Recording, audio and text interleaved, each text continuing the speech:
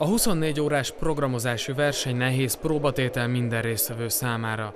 Méri a hallgatók probléma megoldó készségét, állóképességét és azt, hogy hogyan tudnak hatékonyan együtt dolgozni csapatban.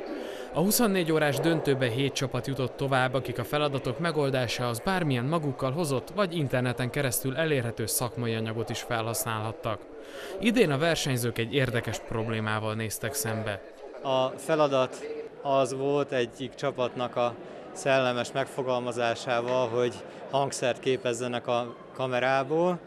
Tehát egy olyan szofter kellett megvalósítani, amelyek előtt nekik mozogva zenét kellett előállítani, méghozzá előre megadott kottákat kellett lejátszani testmozgással. Az innovatív feladat sikeres megoldásához egyaránt szükség volt technológiai és képfeldolgozói ismeretekre is, illetve a csapatoknak kreativitásukat is bizonyítaniuk kellett. A zsűri az értékelésnél figyelembe vette a dallam lejátszásának minőségét, az előadás színvonalát, kreatív megvalósítását, de pontozták a grafikai megjelenést is.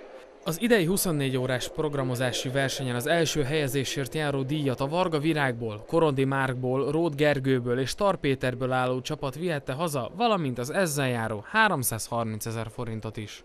Ez igazából egy nagyon érdekes dolog, mert úgy jöttünk ide, négyen voltunk a csapatban, hogy egyikünk sem foglalkozott még korábban sem hangfeldolgozással, sem videófeldolgozással, és egy hát viszonylag alacsony szintű programozási nyelvet, egy C++-t választottunk, amihez nem egyértelmű, hogy, hogy hogy lehet ilyen dolgokat csinálni.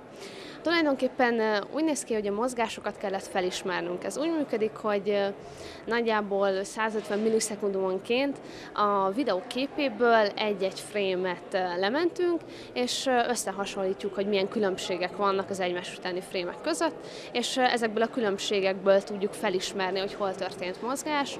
A verseny célja az volt, hogy a hallgatók olyan körülmények között tegyék próbára tudásukat, ami nem pont ugyanolyan, mint az órákon. A szervezők próbálnak minden évben olyan feladatot kitalálni, amely méri a tanulóképességet is, vagyis amit nincsen a tanórákon.